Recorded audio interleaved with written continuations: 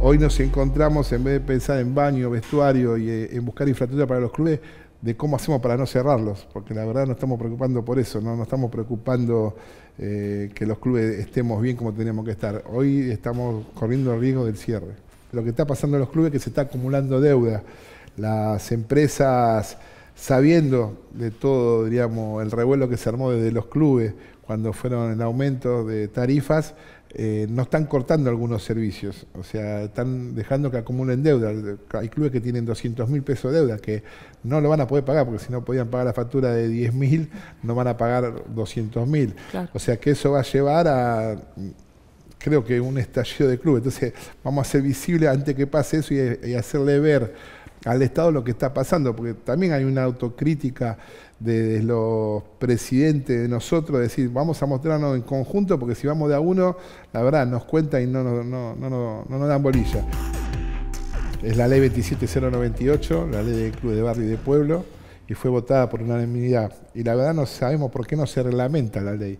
Esa ley ya nosotros preveníamos que si había algún aumento de tarifas, eh, tener una diferenciación en una tarifa social. Y la verdad nunca la reglamentaron esa ley, no, sé, no sabemos por qué. El club es como la tercer pata de contención, siempre lo repetimos, está la casa, la escuela y después el club de barrio.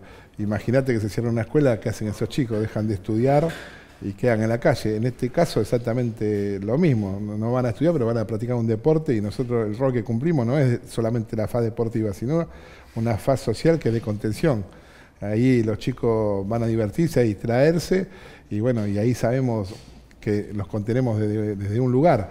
Imagínate que se cierren los clubes, la cantidad de chicos que quedan en la calle. Pero hay muchos lados que, que del club estamos mirando a la sociedad porque hay gente que no no tiene para llegar a fin de mes, no tiene para comer. Nosotros de los clubes estamos detectando chicos que comen de lunes a viernes, ¿no? porque van al colegio, comen en, el horario escolar y sábado y domingo no comen. Y nosotros trabajamos sobre todo a las familias sobre eso. Estamos abriendo comedores en los clubes, cosa que hacía años que no pasaba.